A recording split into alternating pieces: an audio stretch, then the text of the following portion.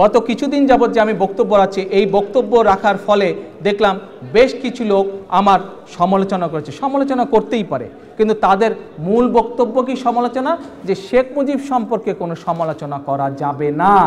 পত্রপত্রিকায় দেখলাম যে শেখ মুজিব সম্পর্কে কোনো বক্তব্য বা সমালোচনা করা যাবে না।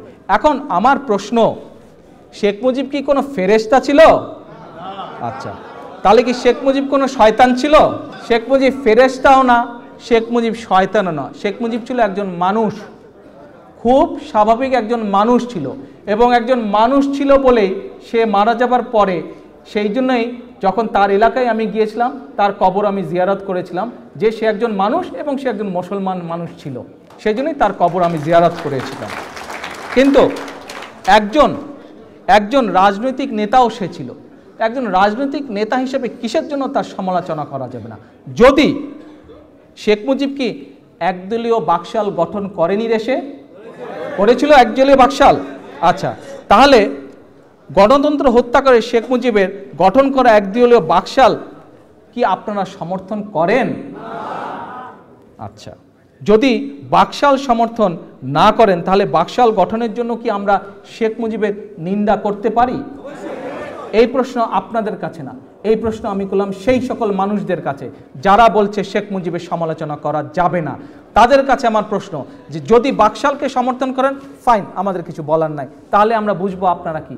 আর যদি মনে করেন যে বাকশাল গঠন করা, বাকশালকে সমর্থন করা ভুল, বাকশাল গঠন করা ভুল, তাহলে তো শেখ মুজিবের সমালোচনা করতেই হবে। বাংলাদেশের সকল পত্রিকা বন্ধ করে দিয়ে মাত্র চারটি পত্রিকা চালু রাখা হয়েছিল। এটি কি সমর্থনযোগ্য ছিল? তাহলে সেই সকল মানুষদের কাছে আমার প্রশ্ন, শেখ মুজিব এই কাজটি করেছিল। এটি যদি আপনারা সমর্থন করেন, আমাদের বলার কিছু নাই। কিন্তু যদি মনে করেন শেখ মুজিব এটি ভুল করেছে, শেখ মুজিবের এই কাজটি অন্যায় ছিল, তাহলে তো অবশ্যই আমরা শেখ মুজিবকে সমালোচনা করতে পারি। স্বাধীন বাংলাদেশে ভিন্ন রাজনৈতিক মতাবলম্বী তিরিশ হাজার মানুষকে হত্যা করা হয়েছিল শেখ মুজিবের শাসনামলে রক্ষী বাণী দিয়ে। এটি কি সমর্থনযোগ্য? এটি সমর্থনযোগ্য না। এটিকে যদি সেই সকল মানুষরা সমর্থন করেন আমাদের কিছু বলার নেই। আর যদি সমর্থন না করেন আপনার বিবেকের কাছে তাহলে আমাদের তাহলে কেন শেখ মুজিবের সমালোচনা করা যাবে না? মন্ত্রিসভা থেকে, তৎকালীন মন্ত্রিসভা থেকে বাংলাদেশের প্রথম যে প্রধানমন্ত্রী ছিল মুজিব মুজিবনগর সরকারের তাজুদ্দিন আহমেদ, তাকে বাদ দেওয়া দেওয়া হয়েছিল। এটি কি সমর্থনযোগ্য? এটি তো সমর্থনযোগ্য না। যদি এটি সমর্থনযোগ্য হয়ে থাকে, বলার কিছু নেই। আর যদি মনে করেন এটি সমর্থনযোগ্য না, তাহলে অবশ্যই শেখ মুজিবের সমালোচনা করা যাবে। শেখ মুজিবের অদক্ষতা দুঃশাসনের জন্য প্রায় পনেরো লক্ষ মানুষ মারা গিয়েছিল।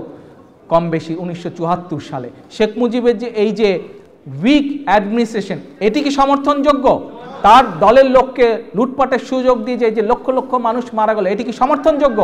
এতগুলা মানুষ মারা গেল, এই হত্যা বা এই মৃত্যু যদি সমর্থনযোগ্য না হয়, তাহলে অবশ্যই অবশ্যই এবং অবশ্যই আমরা শেখ মুজিবের সমালোচনা করতে পারি। তাই বর্তমান বাস্তবতায় অপ্রিয় হলেও সত্য, বাংলাদেশের রাজনীতিতে মুজিব এখন আওয়ামী লীগের জন্য লাল শালু। এই লাল শালুকে ঘিরেই থাকা ভণ্ডরাই নিজেদের স্বার্থে যাকে তাকে রাজাকার আখ্যা দেয়। মুক্তিযুদ্ধের উপ অধিনায়ক বিমান বাহিনীর সাবেক প্রধান এ কে খন্দকারকেও তারা রাজাকার আখ্যা দিয়েছে। অথচ দীর্ঘ নয় মাসের রক্তক্ষয়ী মুক্তিযুদ্ধ শেষে পাকিস্তানি হানাদার বাহিনী যখন উনিশশো একাত্তর সালে ঢাকায় সারেন্ডার করতে বাধ্য হয় উচ্চ পদস্থ কর্মকর্তা হিসেবে ওই মুহূর্তে বাংলাদেশের পক্ষে এই খন্দকার সাহেবই অনুষ্ঠানে উপস্থিত ছিলেন। কাজেই তাকে যদি এখন রাজাকার আখ্যা দেওয়া হয়, তাহলে কি বাংলাদেশের বিজয়কে প্রশ্নবিদ্ধ করা হলো নয়?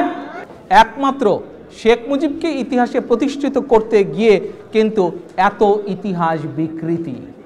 আজ আমি অনুরোধ করব যে আওয়ামী লীগকে অনুরোধ করব, এই ইতিহাস বিকৃতিকে বিকৃতিকে আপনারা বেরিয়ে আসুন। আপনারা ইতিহাস বিকৃতি থেকে বেরিয়ে আসুন। ইতিহাসই যার যার প্রাপ্য সম্মান সবাইকে দেবে।